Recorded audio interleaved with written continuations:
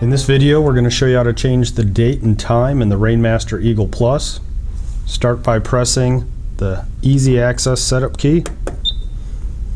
So using the dial selector, select Controller.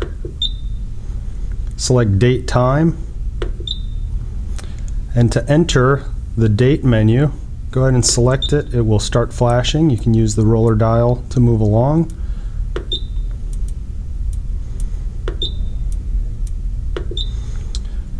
After you're done, it will stop flashing. It means your entry is confirmed. Move down to the time. Go ahead and adjust the time.